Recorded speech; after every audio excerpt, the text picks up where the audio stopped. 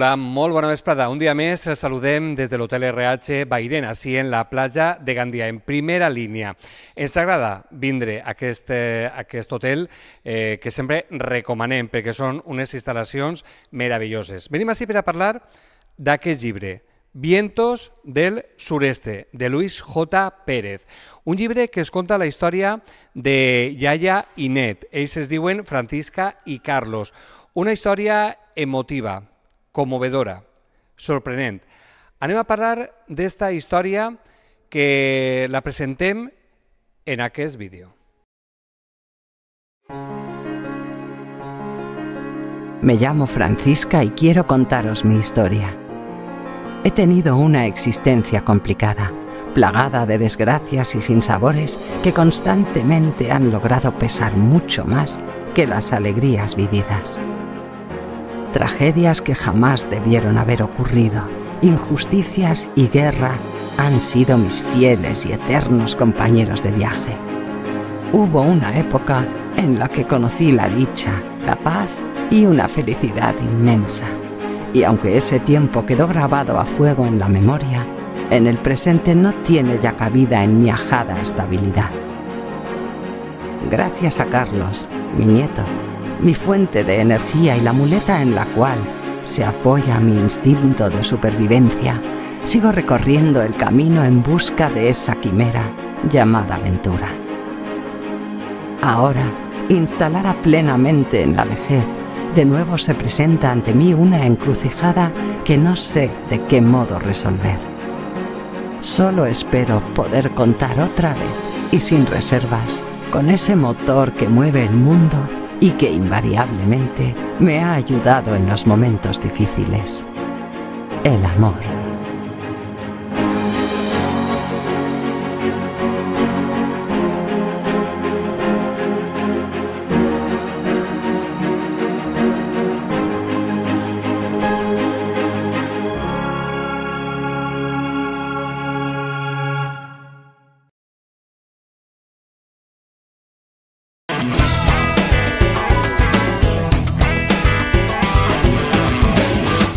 Ja ho saben, aquest llibre és el protagonista del test de magazine avui així a Telesafor i clar, tenim el llibre, però també eh, ens acompanya el seu autor, Luis J. Pérez. Luis, molt bona vesprada. Hola, buenas tardes, ¿qué tal? Bueno, eh, coméntanos, estamos hablando de, es tu tercera novela publicada, Sí. eh, que con ella has roto un poco la línea que nos tenías acostumbrados en- con las anteriores novelas, que digamos que son juicios paralelos y las, pues- las puertas del purgatorio.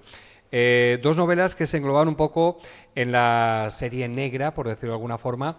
Con esta has cambiado completamente de registro. Coméntanos. Eh, efectivamente. Hola, buenas tardes. Eh, esta, digamos que rompe un poco los esquemas de, de lo que estoy habituado a escribir, porque esta está más al- encarada a la vertiente romántica, ¿no?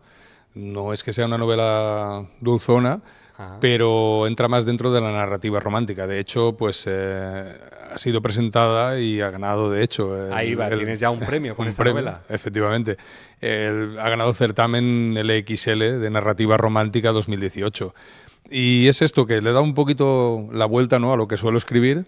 Mm, me interesaba y me apetecía también probar un género nuevo, eh, a ver qué tal se me daba, ¿no? Y bueno, de momento ahí estamos. Ha ido bien, intentándolo. ya con un premio reconocido, Bueno, pues a ver, a ver una qué buena opina. manera, Sí, empezar. es una buena manera. A ver qué opinan los lectores. Eh, ¿Cómo surge la, la historia de abuela y nieto de Francisca y, y Carlos?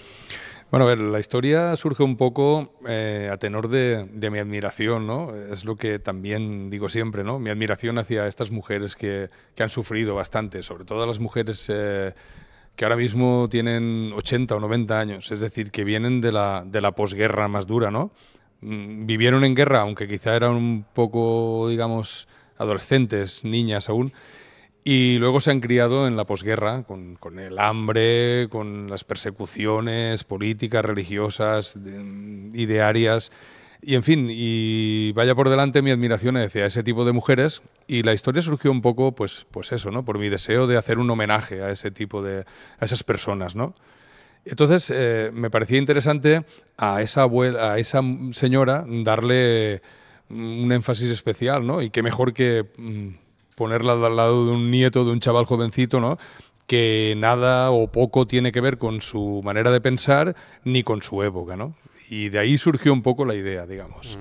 Eh, claro, es todo un ejemplo, todo un mensaje eh, que lanzas de, esfuerzo, de lucha, de superar eh, situaciones complicadas.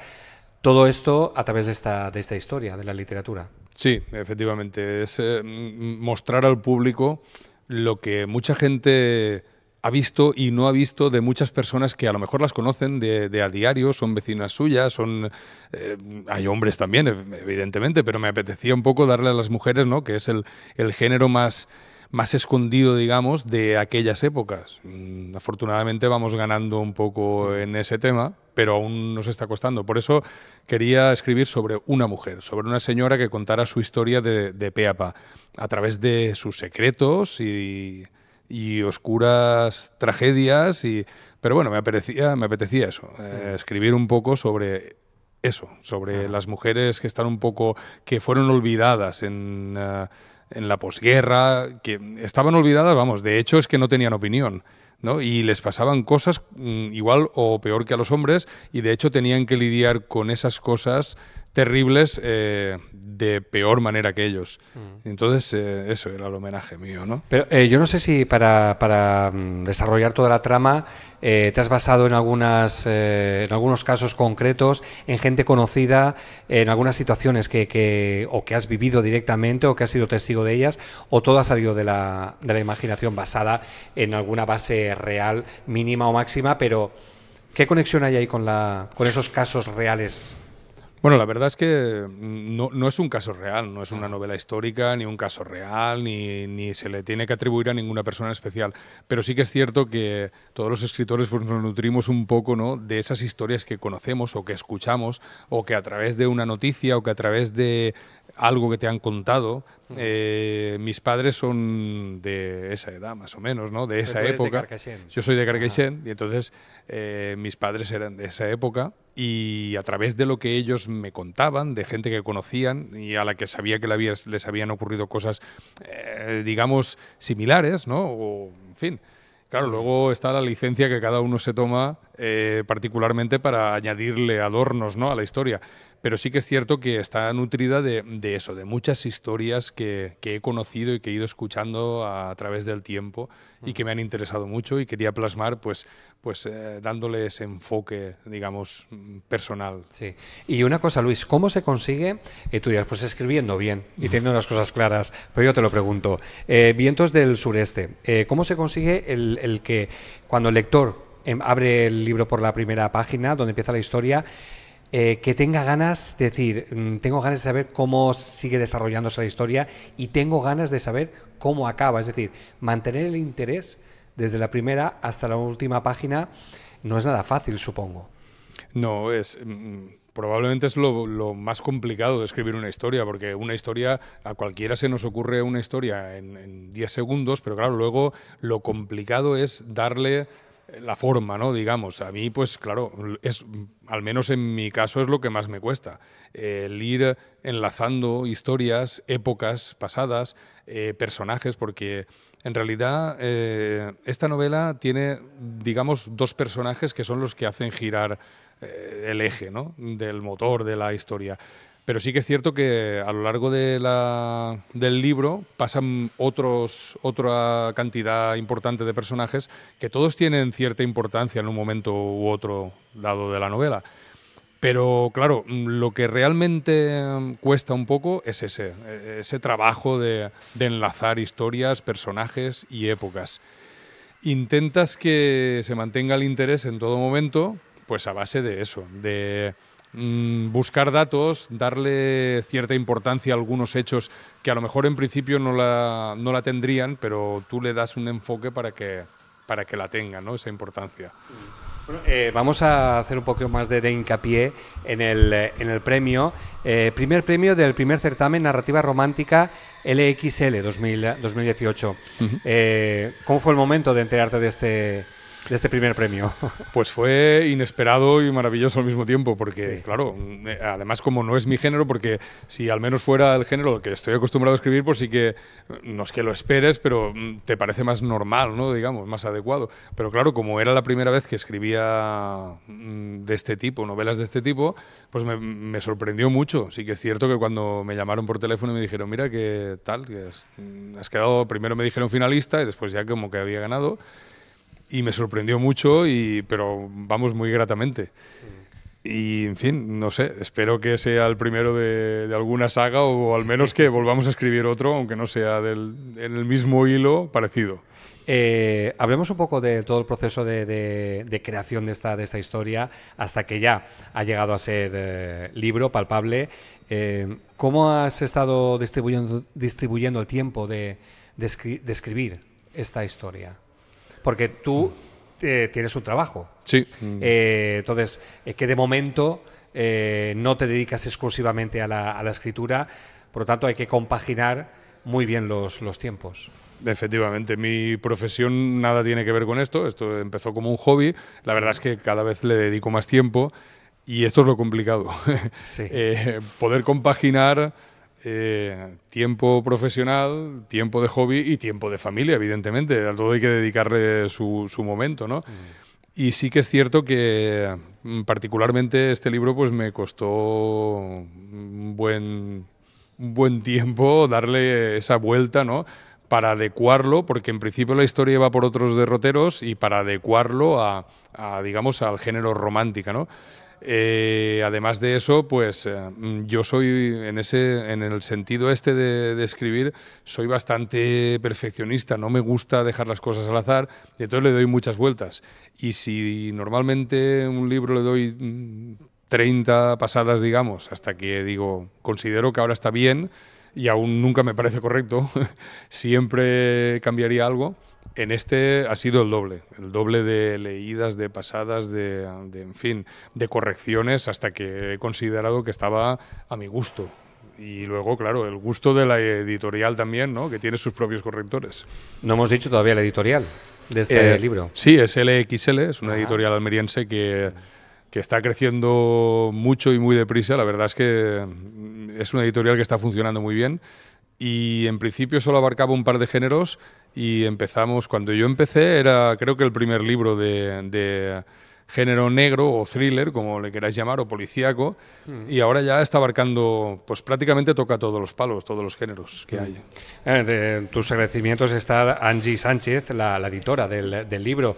Claro que sería un escritor sin un editor o editora, ¿no? Pues sí, y además... Eh, esto hay que decirlo también que estoy súper contento con mi editora porque Anchi es una maravilla de persona y esto pues eh, a veces cuesta un poquito. Eh, tocas otras editoriales que el editor pues eh, no se preocupa tanto, a lo mejor tú eres un escritor más, ¿no? Y y la verdad es que con Anchi estoy muy bien. La verdad es que con toda la editorial, pero claro, hablo de Anchi personalmente porque es mi editora. Sí, cada allí hay cada editor tiene a su propio escritor y yo eh, con ella estoy de verdad fantásticamente.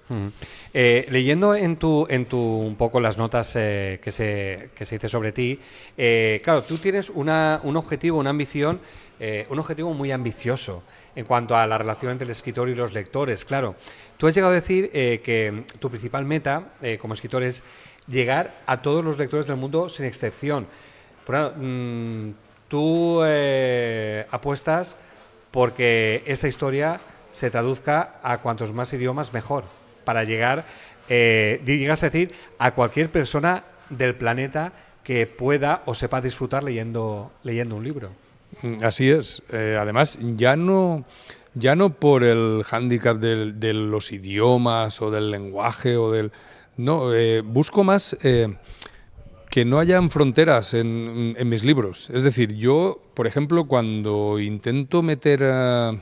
digamos, algún enfatizo sobre algo político en alguno de mis libros, intento no herir a nadie, ¿no? No, no herir sensibilidades, cada uno tiene su propio pensamiento y no porque no coincidamos en, en, ese pensamiento, eh, tengo que poner yo una especie de barrera para que no pueda leer mis libros, ¿no? No tiene nada que ver. Entonces intento nunca, o por ejemplo cuando escribo mis anteriores libros, que eran de género negro, intento no, no poner eh, eh, escenas escabrosas, digamos, no meterme mucho en, en, esos jardines, porque a lo mejor hay gente muy sensible que mm, precisamente por ese, por ese tema ya no leería el libro. Entonces, eh, yo lo que quiero es que no hayan barreras ni fronteras de ningún tipo en mis libros, ¿no? que los pueda leer cualquier persona mm, por edad, por pensamiento político, por estudios, por lo que sea, cualquier persona puede coger el libro y puede leerlo y puede decir, bueno, pues bien, me ha parecido bien o malo, me ha gustado o no me ha gustado, pero que no tenga ningún tipo de hándicap a la hora de leerlo. Y supongo que la, mejor actitud a la hora de, disfrutar de leer con este libro, Vientos eh, del, Sureste, es poner los cinco sentidos a la hora como, como lector. Supongo que como tú los has puesto como, como escritor. Sí, mm, a ver, eh, yo por ejemplo como, como lector, ya no hablo como escritor, eh, no me gustan los libros que empiezan y acaban igual, digamos, ¿no? que son siempre igual, mantienen una línea que no despierta interés ninguno o prácticamente ninguno al lector.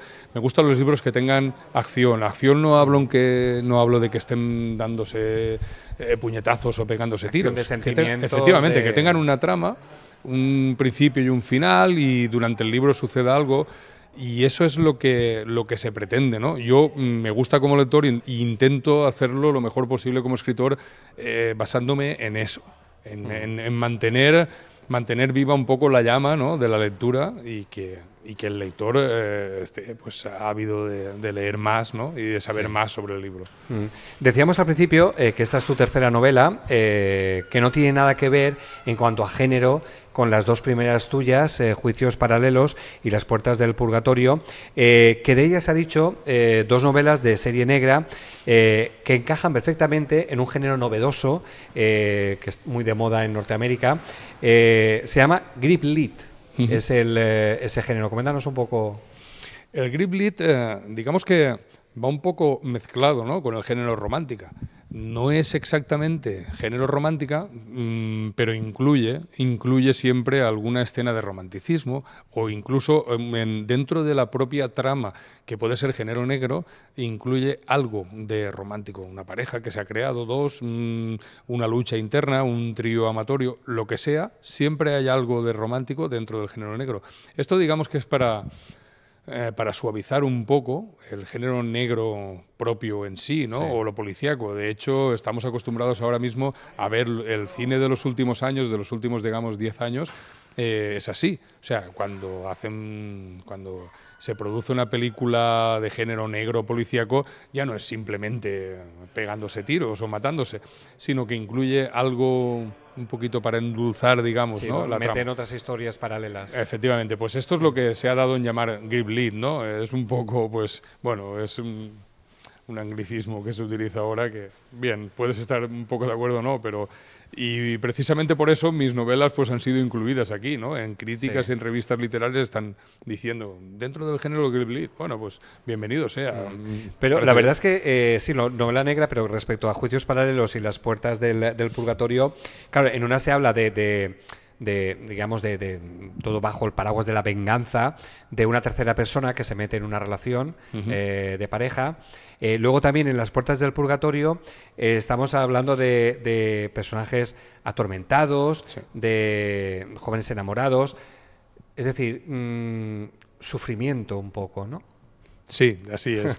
De hecho es que Las puertas del purgatorio es un libro duro, es un libro duro, pero del que mm, pienso que se puede aprender un poco, ¿no? Porque es un libro con mucha psicología, ¿no? Siempre habla de un tipo que, que está muy atormentado por hechos que cometió o que cree haber cometido en su pasado.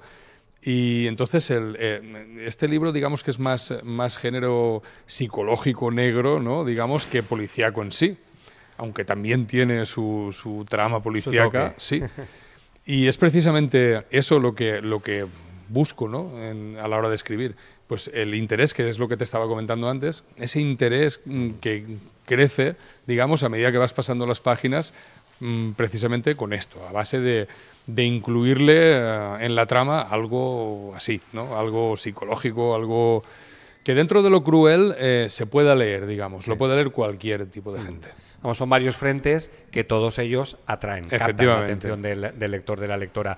Vientos del Sureste, de Luis J. Pérez eh, Puch, eh, primer premio del concurso Romantic LXL, eh, que no solo nos plantea una historia romántica, sino mucho más, según ha quedado claro en esta, en esta charla. Editorial Romantic LXL es la Sí, dicho bien, ¿no? sí, es LXL y el sello Romantic, porque cada sello es el sello Romantic, pero sí, es LXL. Pero que quede bien claro, mucho más que romanticismo nos ofrece esta... Supongo que esperas mucho, ¿no? De, bueno, esta criatura bueno, La verdad es que tengo ilusión y tengo, no sé, las expectativas son buenas. Veremos qué pasa con el tiempo. Bueno, de momento ha sido un placer compartir este tiempo contigo, Luis J. Pérez, eh, en este tiempo de Magazine de Telsabor para hablarnos de vientos del, sureste. Muchas gracias por venir a, compartir con nosotros esta, esta creación literaria tuya. Y después de este ya primer premio, te deseamos que vengan muchos más. Pues muchas gracias a vosotros y ha sido un placer. Hasta otra. Gracias. gracias.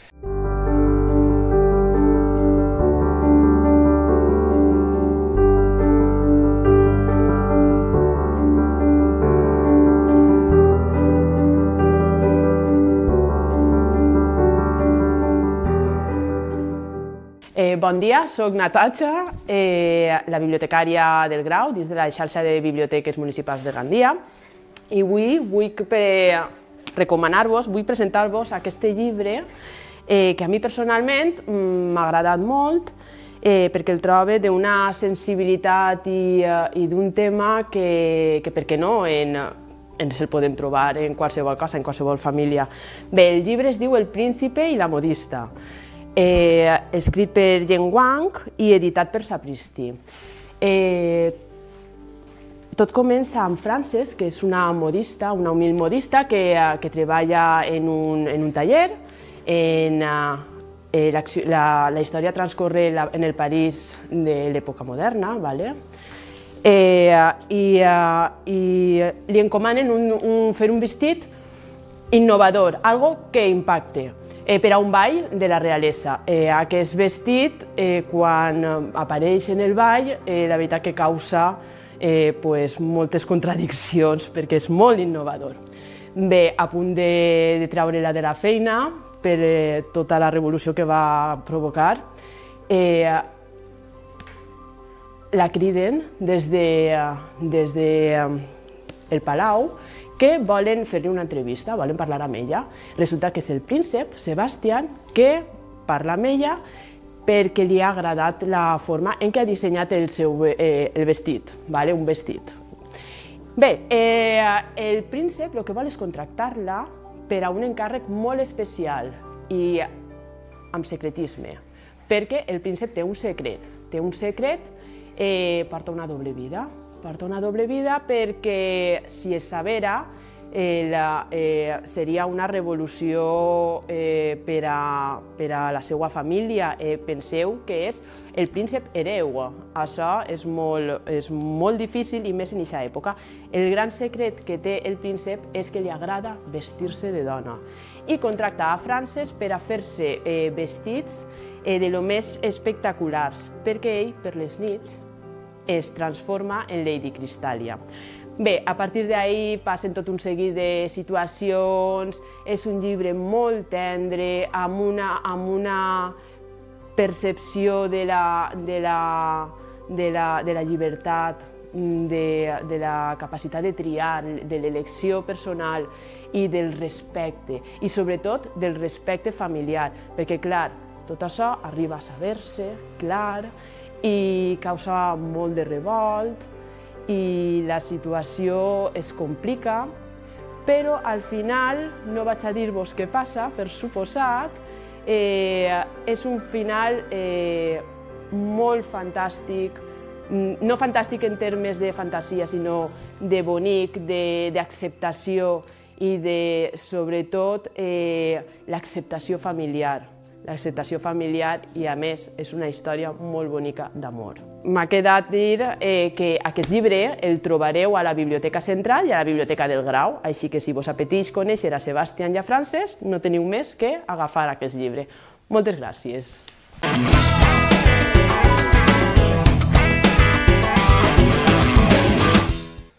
Nos acompañan, vamos a visitar la tienda Dimendi en la calle Mayor número 34 en Andía.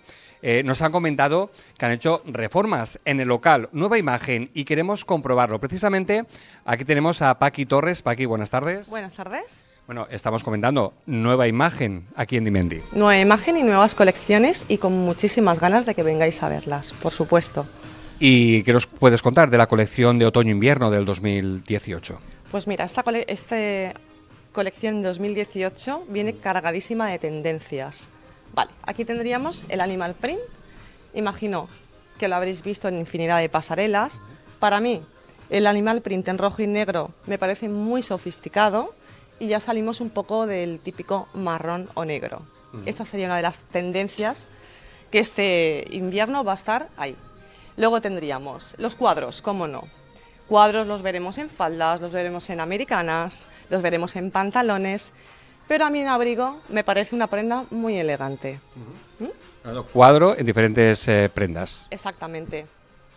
¿Qué más eh, tendencias podemos hablar de esta colección otoño-invierno? Luego tendríamos lo que es las cadenas, ¿vale? En este caso tendríamos una blusa de la línea de Guess Jeans. También la trabajamos con Marciano, aprovechando para deciros que lo tenemos en este año en exclusiva también aquí en Dimendi. Aparte de Guess Jeans tendríamos Guess Marciano.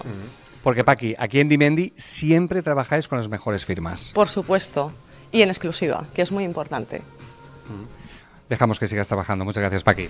Muchas gracias a vosotros. Ya saben, Dimendi, en la calle Mayor, número 34. Si buscan eh, la mejor moda, buscan diseño, además una atención profesional y personalizada, pueden encontrarla aquí, en la calle Mayor, número 34, en Dimendi. Y para mayor comodidad, a la hora de realizar su compra, pidan el ticket del parking del Prado y del Serpis. Eh, más facilidades imposible, ya saben, las mejores marcas. Tu tienda multimarcas en Gandía, aquí en Dimendi, en la calle Mayor, número 34.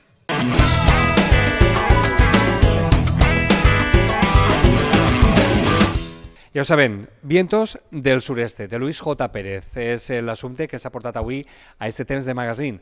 Així, com sempre, este racó de l'hotel RH Bairen a la platja de Gandia. Per la nostra part, no res més. Gràcies per la seva atenció. Ja saben que sempre tenim motius per a llegir, per a endinsar-nos en històries literàries com aquesta, per a disfrutar i viatjar sense manejar-nos de casa. Per exemple, Ambientos del Sureste. Gràcies per la seva atenció i els esperem demà, a la mateixa hora. Així no ens fallen.